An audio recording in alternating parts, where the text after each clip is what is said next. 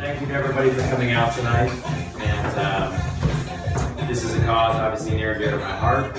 We raised $1.8 million this year at Chef Cycle. So I was unable to. I know I cooked for a few of you guys. We did some fun dinners at Ron's place, but uh, they had the uh, every year they do 300 miles, three days, and of course with Jianna being open, I haven't been able to get away for five days to do the, the three days. So I've done a couple dinners, and I just invite my friends. So of course it it means a lot. One out of every five children doesn't have enough to eat, and of course they can't learn when they have no food when they attend school. So everything you guys are doing, 100% of what you guys have given tonight is going to go to the dinner for that night. So I think it's about 3,000 bucks, which is probably about 30,000 meals for children to have something when they go to school. And I know Cool. Marie, Wow. the understanding of that, but we ran it, when we're a little bit hungry, we just go to the fridge and they don't have that opportunity. So this is uh, us and Jianna giving back. I would first want to thank the whole team back here who's donating their time tonight.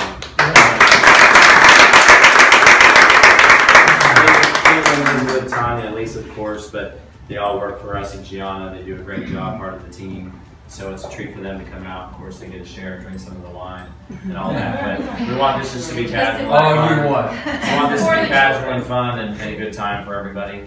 And uh, I want to thank as well Wendy for hosting this. She owns She's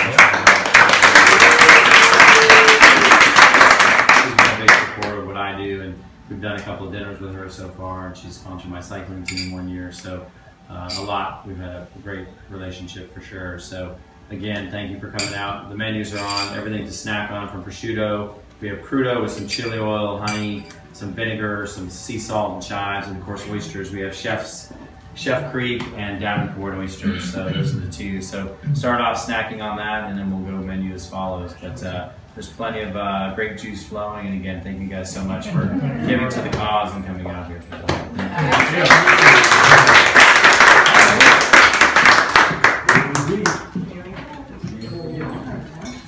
Debbie so hungry she hasn't eaten anything.